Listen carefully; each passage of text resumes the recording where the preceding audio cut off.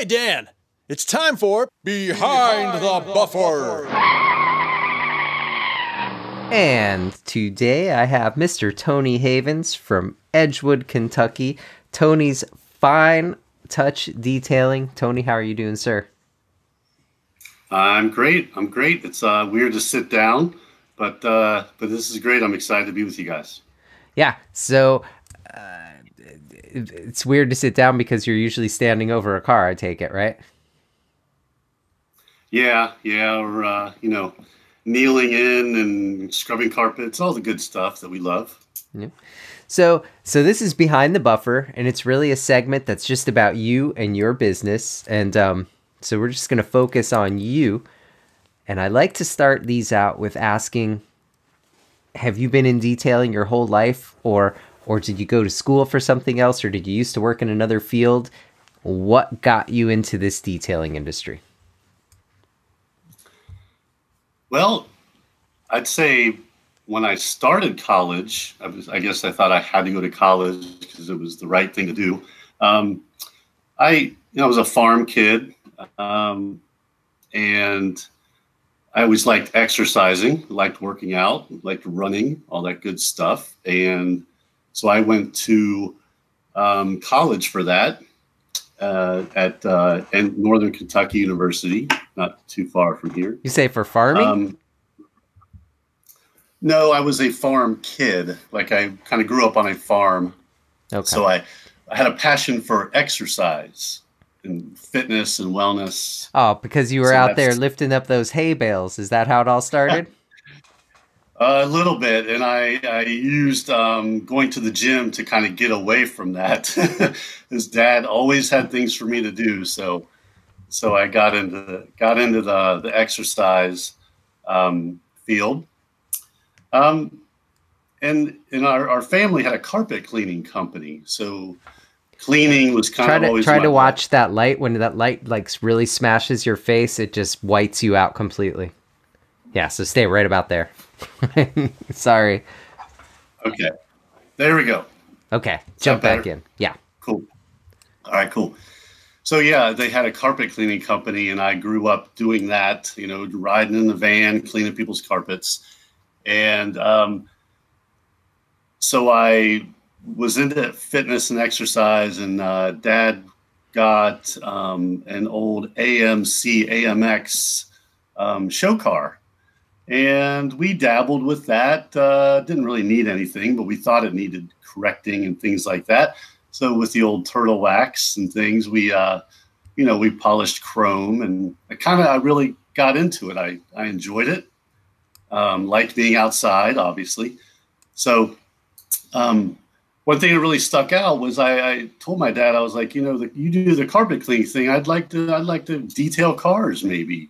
And he said, well, you're in college. You, you can't do that. I'm paying for your college, and you know they never make it anyway. Detailers, they're a dime a dozen. They'll never make it. So I always kept it in the back of my head. Did all my schooling, um, and got my graduate degree in wellness as well, fitness. So then I got a job at a nice uh, country club down the road here. That's why I live in Edgewood, Kentucky. There's a nice club down the road, and I started training there as a trainer, personal trainer. And back in 08, um, things kind of, everyone remembers the 08 kind of stock market deal. So I, you know, I would train these people and they had money to spend. So they had a little income and little by little, I would talk to the talk to the people about you know their cars. You know, you chit chat, kind of like a glorified you know hairdresser, giving people dumbbells and saying, "Hey, what do you drive?" Things like that. Funny so, that you would use a, a hairdresser. Um, right on. for your analogy. right. Um, so yeah, little by little, uh, people would say, "Well, you can come and detail my car," and I had done maybe two cars before that. You know, back when I was younger, I didn't really know what I was doing. You know, I'd take a roll paper towels and some Meguiar's wax and things like that, and you know, I made a hundred bucks here and there. So, so little by little down the road, that became larger and larger for me. So hey, So let me in- let me let's touch back on that training. What what do you see that's um, similar as far as business goes? Because when you're a trainer, it's essentially like having your own small business, also. And even the the carpet cleaning company was another small business. So you kind of really came not from necessarily working for the man, but from from a small business aspect. Now, these people who are the trainers, um, ever since the gym's closed, I use Peloton, and and I sp- Yeah. what what what do you see, or what are people's kind of habits that you have to break when you get people in training? Because I would imagine most of the people that come in there don't take it serious enough, and they don't like put like if you were trying to learn a musical instrument and you don't practice, then you don't really ever get any far ahead. Right. Um, and, and like and how would you and and it'll all tie together because i'm going to tie it into business too but and then how did you like take those people who were not motivated and actually get them motivated it's almost a sales job where you're selling them themselves Yes. I, I believe one of my best attributes is personal um, service, uh, customer service. Um, always being, always being on. Um, you know, happy face for people to see when their name is on that schedule when they have to go to the gym. Um, so they're not going to come in and see some guy who doesn't want to be there. I want to be there for them, and you know, and, and safety was also a very big uh, part of of my business as a trainer. Um, you know, I always used to say I don't want to throw rocks at glass houses. You know, I want to want to want to progress and micro progress with each client, so they could see immediate results from one session to the next because that progression was so small. You know, and I would. Uh, inform them well last time you couldn't do this and now you can. So so that was that was great. That was great uh, um, positive reinforcement for them. And you know it is it is um, it's not always perfect. A lot of people will would cancel and no show and things like that and kind of get a feel for who's going to stick it out with you and so I, I had clients for 15 years and you know, some for a month. You know, it just depends on the person. And, uh, So- and I had one one person, only one scenario out of hundreds of clients where they said, "I don't think we're a good match." So, so that goes back to my father saying, "You can't make it as a detailer." You know, you know, so little things like that have uh, inspired me to keep going and uh, you know prove people wrong. So. so so, that was- you've you've come from a place of discipline yourself obviously from uh, from all of your background and Right, right. Yeah, I didn't want to stick out college. I really didn't. I didn't really enjoy it until I got into my master's field. So, because I was then on my own, I couldn't be with, you know, had to be on my own in a, in a different state. So I was in Tennessee then. So it was good. Okay. So then, w- tell me when you decided. When was the aha moment when you were like, "D- "It's a detailing business. I'm moving forward with this, and I'm all in." Yeah, yeah. Um, well, in 16 is when I when I opened my LLC, and at the time I was also doing training outside of that gym as well. So there were some people that sought out my my training outside of the gym, and then I decided, well, I bet I better just I'm gonna have to start paying taxes for detailing. I'm I'm out there. People know me, so I have business cards, so I better do it you know, got the whole um, accountant and all that good stuff. So, yeah, 16, and then little by little again, 18, I was doing more. I started doing more detailing than training, and then pandemic. March 16th was my last day at the gym, so that was it. They kind of let me go. Let let me, you know, said if you're not coming back, then you know, you just you just don't have a job anymore. And it was kind of weird, but I, I honestly was very burnt out. I was in the same gym for 18 years. So, so it was good. And, you know, now, now I'm doing my own thing and, um, yeah. So, So we're four or five years into a full time detailing business. Um, and what have what have you seen as like um, advancements, or what's been like the the most influential thing that's helped change and build your business? Whether that's a product or a method or a or a, a computer yeah. software, or who knows. It's not computers, I'll tell you that. Never been a strong point of mine. That's why I have an accountant, and uh, I I not good with all that stuff. I'm I'm that age where uh, you know we didn't get a lot of that. So I took a typing class in high school. So I'm you know so I'm up there. How, how old are you? But um, 45. Okay, I'm 51, so I'm right there with you. computers were brand new, and it, I had a typing class also in high school. And um, this this uh, person that I knew was in the class before me, so she would tell me whatever the thing the assignment was because you know you'd practice the whole session and at the end you'd have to do something and turn it in. So while everybody was practicing i would do my one that i would turn in at the end. Sounds like me in high school. Uh, all the all the tricks we learned. Um, so really again i, I got to go back to customer service. Um, i i um, i've done a lot of you know research online and a lot of you know dabbling. I've spent way too much money. Um, I know that, um, but uh, really, what what made me stick with this career path, starting at you know age forty, basically, with my um, second child born, and down the road we, we have a third one now.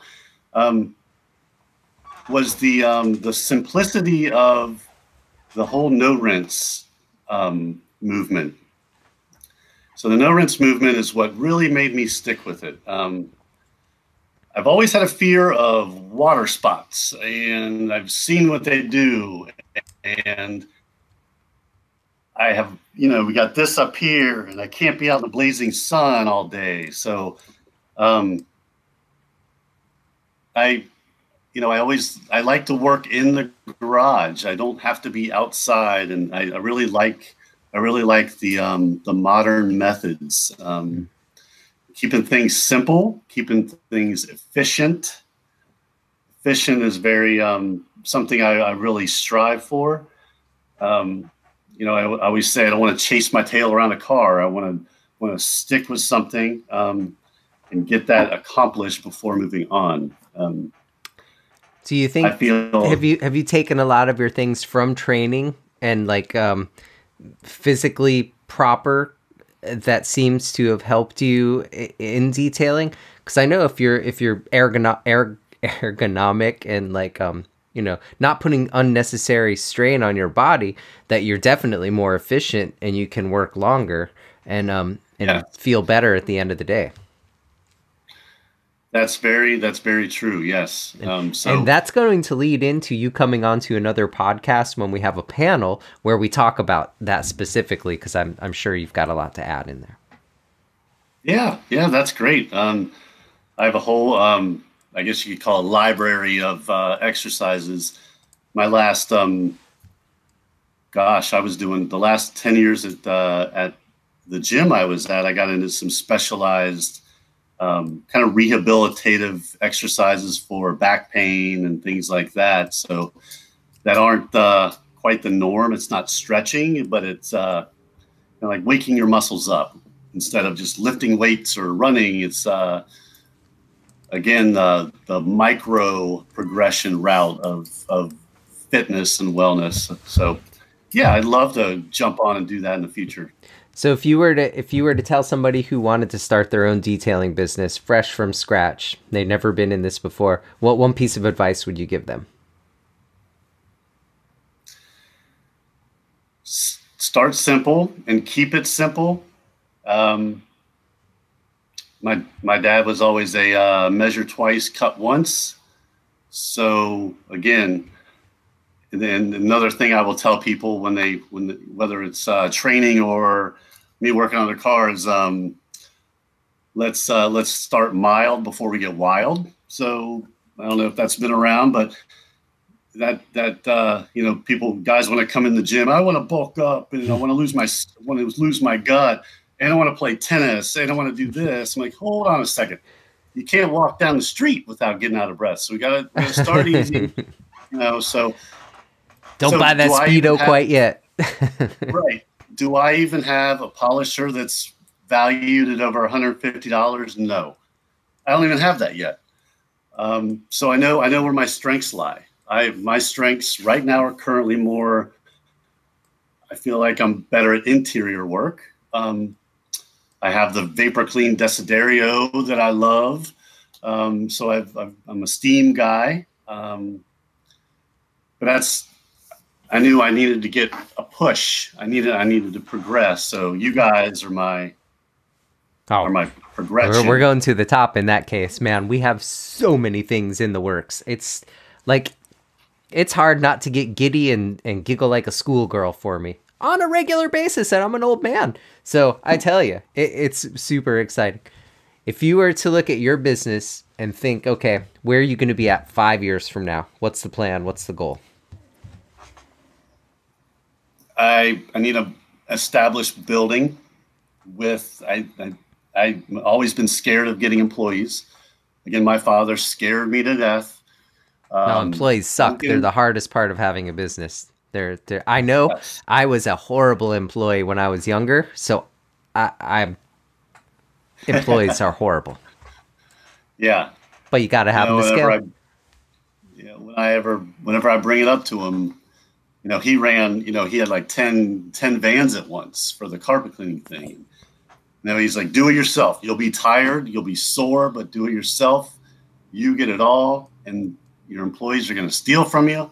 They'll steal your business. They won't show up. They'll disappoint you. And I'm like, gosh, Dad, thanks.